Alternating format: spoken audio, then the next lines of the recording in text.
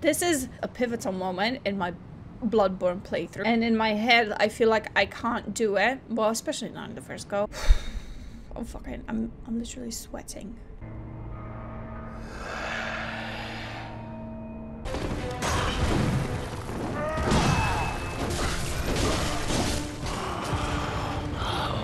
What's that smell?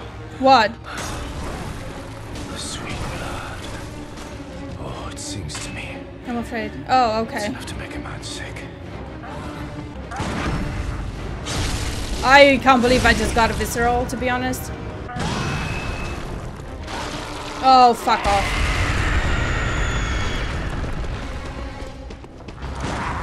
Nope.